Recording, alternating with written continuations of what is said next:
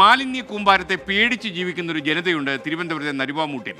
ആശുപത്രികളിൽ നിന്ന് ഉൾപ്പെടെയുള്ള ലോഡ് കണക്കിന് മാലിന്യങ്ങൾ ഇവിടെ തള്ളി തള്ളിയിടാൻ തുടങ്ങിയിട്ട് കാലം ഒരുപാടായി. വാടകയ്ക്കെടുത്ത ഭൂമിയിലാണ് അനധികൃതമായി മാലിന്യം തള്ളുന്നത്. പഞ്ചായത്ത് അനുമതി പോലും വാങ്ങാതെയാണ് തിരുവനന്തപുരം നഗരസഭയിലെ ഉൾപ്പെടെ മാലിന്യം ഇവിടെ എത്തിക്കുന്നതും ഇവിടെ തള്ളിയിടുന്നതും. പള്ളിച്ചൽ പഞ്ചായത്തിലെ നടുക്കാട് വാർഡിൽ കഴിഞ്ഞ ഒന്നര വർഷമായി ആശുപത്രി മാലിന്യങ്ങൾ ഉൾപ്പെടെ ഈ ഒരു ഒഴിഞ്ഞ പ്രദേശത്ത് തള്ളുകയാണ്. മാലിന്യ കൂമ്പാരമായി ഇപ്പോൾ പഞ്ചായത്തിന്റെ ലൈസൻസ് പോലുമില്ലാതെയാണ് ഈ ജനദ്രോഹം ഇവിടെ തുടരുന്നത്.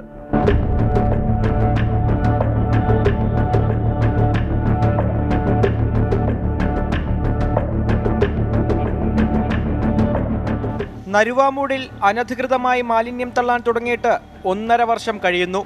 സർജിക്കൽ ഉപകരണങ്ങൾ ഉൾപ്പെടെയുള്ള മാലിന്യങ്ങളാണ് ഈ ജനവാസ മേഖലയിൽ തള്ളുന്നത്. ആദ്യഘട്ടം മുതൽ തന്നെ പ്രദേശവാസികൾ ഇതിന്റെ അപകടം ചൂണ്ടിക്കാട്ടി പഞ്ചായത്തിനെ സമീപിച്ചിരുന്നു. നാട്ടുകാർ ഒരുമിച്ച് പഞ്ചായത്തിന് മാസ് പെറ്റീഷനും നൽകി.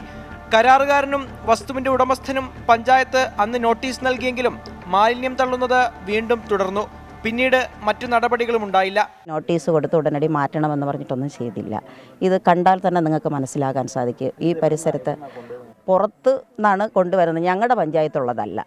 അത് എവിടെ നിന്ന് കോർപ്പറേഷൻ എന്ന് അവർ പറഞ്ഞതാണ് ഞങ്ങൾക്കറിഞ്ഞില്ല. എവിടെ നിന്ന് കൊണ്ടുവരുന്നത്? ഇപ്പോൾ കോർപ്പറേഷൻ എന്ന് ഞങ്ങൾ പറയുമ്പോൾ ചിലപ്പോൾ വേറെ എവിടെ നിന്നെങ്കിലാണെങ്കിൽ നമുക്ക് അറിയാൻ പറ്റില്ല. ഞങ്ങളുടെ പഞ്ചായത്തുള്ളതല്ല ഇത്. തിരുവനന്തപുരം കോർപ്പറേഷനിൽ നിന്നുൾപ്പെടെ കരാർ ഏറ്റെടുത്തയാളാണ് ഇവിടെ മാലിന്യം തള്ളുന്നതെന്ന് നാട്ടുകാരും പൊതുപ്രവർത്തകരും പറയുന്നു. കോവിഡ് കാലത്തുൾപ്പെടെ വലിയ ബുദ്ധിമുട്ടാണ് ഉണ്ടായതെന്നും പഞ്ചായത്ത് ഉചിതമായ നടപടി സ്വീകരിച്ചില്ലെന്നും നാട്ടുകാർ ആരോപിക്കുന്നു. പന്നികളും നായ്ക്കളും ഉൾപ്പെടെയുള്ളവയുടെ ശല്യം വർദ്ധിച്ചെന്നും പ്രദേശവാസികൾ പറഞ്ഞു.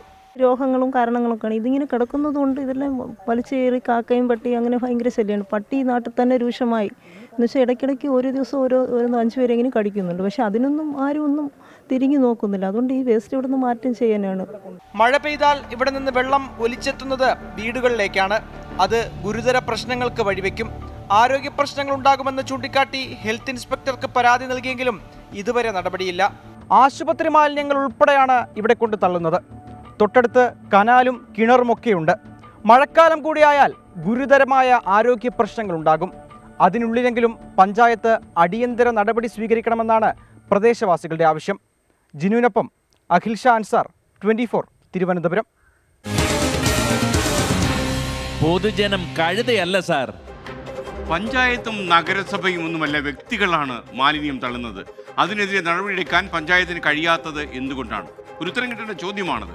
കേൾക്കാൻ നമുക്ക് ദുരിതം അനുഭവിക്കുന്ന ജനങ്ങൾ പറയുന്ന കാര്യങ്ങൾ. ഇത് ഏകദേശം ഒരു ആറേഴ് മാസം കൂടുതലായി പഞ്ചായത്തിന് മുമ്പ് ശ്രദ്ധയപ്പെട്ടു പഞ്ചായത്ത് പല പ്രാവശ്യം നോട്ടീസ് കൊടുത്തു.